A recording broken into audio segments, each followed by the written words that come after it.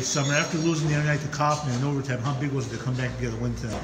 Um, it definitely motivated us a lot. It showed us like how good we can actually be, and um, showed us our potential. And so we, it just motivated us to be better this game.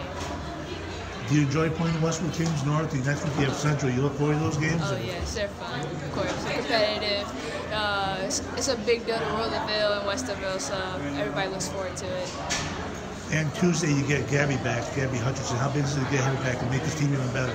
How big is that? Oh yeah, that's gonna be uh, very big because that's what we're missing right now is a post player, and she's 6'2", and she's just gonna bring so much presence inside. That's gonna be very